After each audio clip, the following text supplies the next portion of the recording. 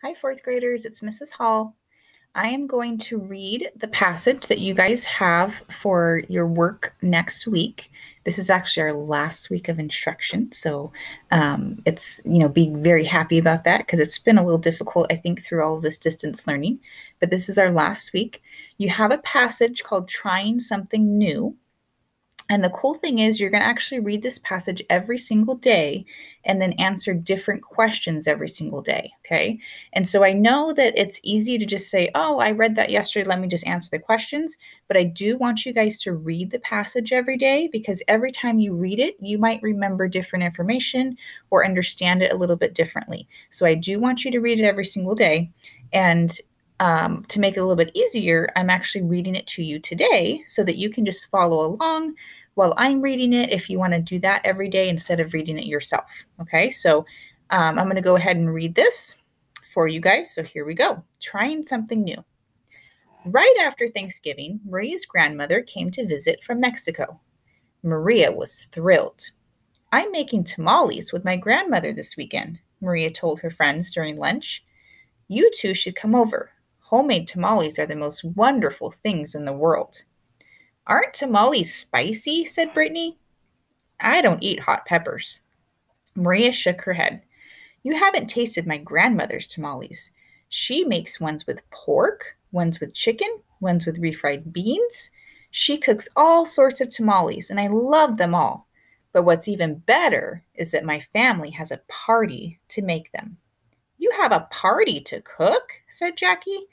My mother and I make cookies together sometimes. It's fun, but I wouldn't call it a party. All of my aunts and cousins come, and we work in the kitchen with grandmother. We sing songs and tell stories and make tamales. I wish I could join you, but I'll be at my cousin's wedding, said Brittany. I'm free, said Jackie. I can't wait to see what it's like with all those people in your kitchen. It takes a lot of hands to make a good tamale, my grandmother says, said Maria. After all the talk about tamales, their leftover turkey sandwiches seemed very boring. Your grandmother doesn't make turkey tamales, does she? asked Brittany. I am so tired of turkey. No, said Maria, not turkey. Your grandmother must like to cook, said Jackie. She's the best cook in the world, said Maria, and I'm going to learn to cook just like her.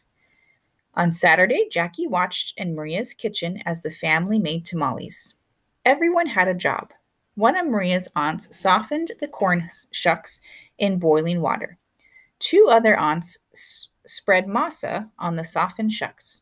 Maria and her cousins put filling in the corn masa, and then Maria's mother and her grandmother rolled up the tamales and tied them with little strips made from the corn shuck.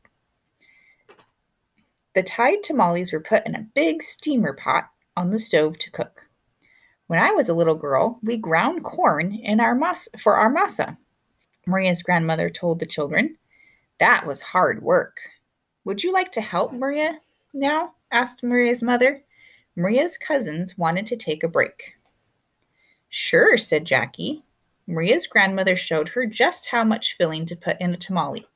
Carefully, Jackie spooned a seasoned chicken mixture down the center of the masa on the corn shuck. Perfect, said Maria's mother, grandmother. Soon Jackie was helping like one of the family.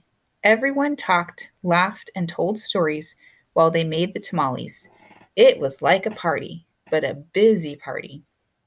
The best part came later when the tamales were finally done and Jackie tried all the flavors they had made. Which do you like best? asked Maria's mother.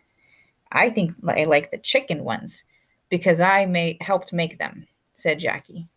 You've learned the best part about cooking, said Maria's grandmother. Enjoy what you create.